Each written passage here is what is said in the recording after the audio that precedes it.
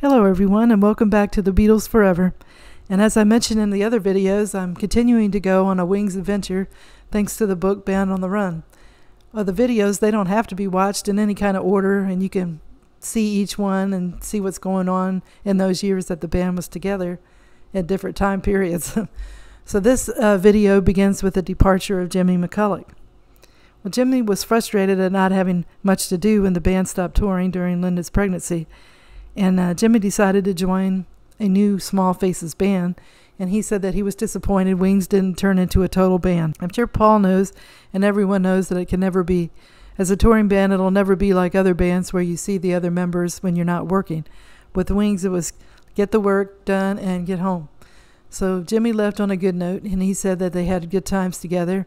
And he was quoted as saying, Though Linda doesn't know much about music, she's really a nice chick and I certainly learned a lot over the past two years. Well, Paul was probably used to getting the revolving door of band members leaving, which is why he never bothered with contracts. Or maybe that's because they left because they didn't have that contract. But he said it's just one of those things. And when you think about it, it's really difficult to set something like a stable group because in my position, you get all sorts of weird little problems that you can't do much about. He said there was tension between him and Jimmy, and they had to either work through it or just leave. And when Jimmy left, Joe English soon followed. And I've seen that happen in my work. Um, people started feeling dissatisfied and just felt it was a good time to leave. And once one person goes, the other people start to think, I guess it's good for me to leave too. So Joe wanted to be part of a real musical team, and he thought that Linda was pulling the band down.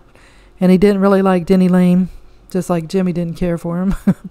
So Joe was promised royalties which never materialized, just as other band members had been told. Paul said that Joe left because he wanted to spend more time with his family in Georgia, and he'd been in England for four years. And Denny seemed to have a problem with band members who wanted to make money in the band. He said that Joe left because he had made some money and bought a house and got his Porsche. So Denny said the same thing about Geoff Britton, saying that he was only in it for the money, and how he kept saying, When I get my big house, and Denny said that Paul didn't like hearing talk like that. But I don't think there's anything wrong with having goals and dreams, and and all of them wanted to be successful enough to get the finer things in life. And Joe had felt that way too. Mull of Kintyre. It was during this time that the band was down to three that Mull of Kintyre was made. So Paul and Denny collaborated on it. Paul had written the chorus of the, in the summer of 1976 and then put the song away for a year and it was then that he showed it to Denny, and they completed the music and lyrics. The song became an unofficial anthem to Scotland with bagpipes and guitars. I remember I bought the 45 and I played that song to death. I loved the bagpipes and the feeling the song gave me. And it's funny that the source of inspiration of Mull of Kintyre wasn't the greatest place to be in. Denny said that the place had an old light lighthouse, a decrepit hotel, and a cemetery, and he wouldn't wish the place on his worst enemy. But Denny came up with the idea of the Campbeltown band to play the bagpipes on the record. Paul got together with the leader of the band, and the guy showed Paul the notes the bagpipe can play. So then Paul and Denny then rewrote wrote the song to incorporate the instrument. Well, Paul wasn't too concerned about the public's opinion of the song because he felt it was one of Wing's best songs. And a guy on the radio said at the time, There you go, Paul, keep 'em guessing. And Paul thought that was great. Okay, the song became number one on all three major English charts, and Paul said it was a long time coming. Not only that, it became the first single in Britain to go double platinum, and it eventually sold more than 2.5 million copies in Britain alone. The previous bestseller in the United Kingdom was the Beatles' She Loves You. So, how about that? So, the song stayed on top of the UK charts for nine weeks, and I'm sure Paul was proud of that. In America, the record wasn't as successful. It failed to hit the top 100 in any of the U.S. charts. I bought my copy, Paul, but it's a mystery to why it failed in the U.S. It said the DJs were playing the B-side at Rocker Girls School that hit the top 40 on the U.S. charts, but it was still a disappointment. Money once more became an issue with Wings when the Campbeltown bagpipers started to complain to the press. They were paid scale wages for their work, and they felt that their sound contributed greatly to the song, so Paul ended up giving $300 more to each band, each member of the band. London Town released. The album was released in the spring of 1978, and they had a major hit with their song With a Little Luck. It hit number one in the U.S., and London Town, the album, stalled at number two for a month and a half in the U.S. charts. The record that kept him out of number one was the soundtrack Saturday Night Fever. Well, some fans were disappointed that Mull of Kintyre wasn't on the album, and that was because Paul didn't feel like having it on there. The record company had called him and said they were going to put it on the album, and Paul said, No, we're not. So then later he said it was his fault that uh, it didn't happen. While two new members were hired after London Town, uh, the first was Laurence Juber. He wanted to become a top studio musician. Denny saw him on the David Essex show, and he was the musical guest at the time. And Denny was asked if he wanted to jam with Denny and that Paul and Linda would be there too. And he said, yeah. He was 25 and he wanted to change the direction. He felt that it would help him further his music education. Sort of my master's at McCartney University, stated Laurence. So these two band members, the next one that joined, I don't remember either one of them, so this is interesting to find out more about them. And the next member of the band was Steve Holley, and he and Laurence were both British, and he was a drummer. In March 1978, he was invited by friend Denny Laine to play, and he began to jam with Wings on occasion. Next, he did a formal audition, and he had to wait a few hours for Paul and Linda to show up. And they played together for a long time. Uh, Paul liked what he heard, and he was in the group. Paul was asked later about the turnover rate being large, and Paul said, You think when you get a band, you can all be happy together and have chemistry. And he said it wasn't easy getting another band after the Beatles. He said there were arguments and stuff, but that was the nature of bands. Juber and Holley were offered $450 a week each, and usually a band of Wings caliber earned uh, group members 2500 a week.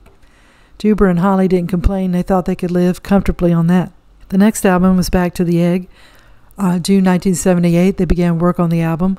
Paul wanted to go with a harder sounding punk new wave style. Juber said it was back to the basics, garage band kind of feel, and he and Holley had a great deal of freedom. Holley said that one time Linda told him he didn't she didn't really want to be in the band. She would rather be with her family. But Paul liked her in the group because it made him feel more comfortable.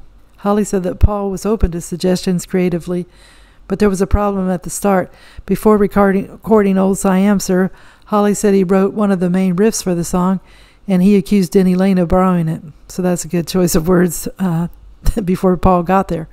So Holley and Laine both thought it up, they said, and they almost got into a fistfight over it, but Paul broke it up and he sided with Denny. It was around this time that Denny and his longtime girlfriend JoJo were married November 1978 on a boat outside of Marblehead near Boston. Paul and Linda didn't attend and didn't give their best wishes, so I wonder what was going on there.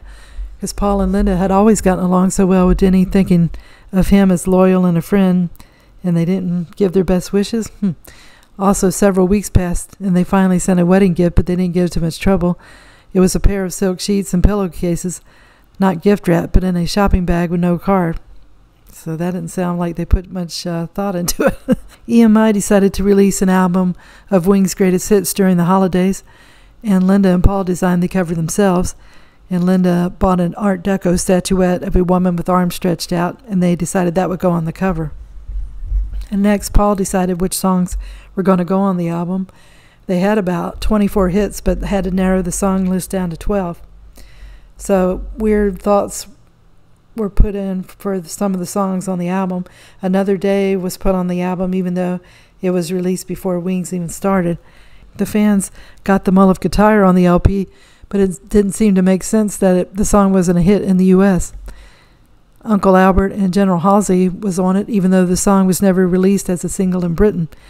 So that might be a good thing, though the British people could finally have a album with the song on it. Many of the fans thought that Helen Wheels and Maybe I'm Amazed should have been included. I think they're right there. And they also felt a remixed version of Venus and Mars should have been included because it wasn't on any Wings albums. And Listen to What the Man Said was excluded, which was a very popular song. And C Moon wasn't on it, and that's funny because I, I never heard that song until it was on Paul's CD Amoeba gig, and I thought, wow, what a great song. That was the first time I'd ever heard it. And also, some felt that Mary Had a Little Lamb should have been there too because it was the top 10 in the United Kingdom. Well, the critics were split on the album. One critic, Robert Christgau of the Village Voice, called it pop for potheads, But Rolling Stone thought the album brought out the power of the single, and he felt the album was better than any individual album the group did except for Band on the Run, and I have to agree with him on that. The album sold more than 1 million copies in the US, which sounds pretty good, but EMI was hoping for better.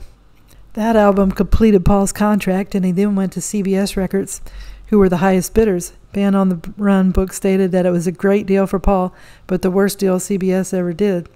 A former employee for CBS said it was too much money for an artist who was past his prime, and everyone who met Paul that day were starstruck, and they were buying a Beatle.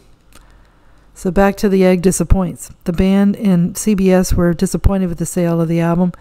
Rolling Stone had asked Paul if Back to the Egg branched out into new areas, and Paul said slightly, he said, but then you go back to what is you, and it takes a certain mold. Columbia promoted the album heavily, but it didn't help. Back to the Egg peaked at the bottom half of the U.S. top 10. The company became disillusioned with Paul, and he was the only major artist the company never had a welcoming party for. A former CBS executive said the records he delivered to us didn't help much. He came in with a fair hit with Goodnight Tonight, but he refused to put it on Back to the Egg LP, so they couldn't work with it. And then the executive said that he refused to bend because he was a Beatle. He didn't have to have us, but we really wanted him. So everyone in the band felt the album would be a success, but when the final mixing came in, doubts started to appear.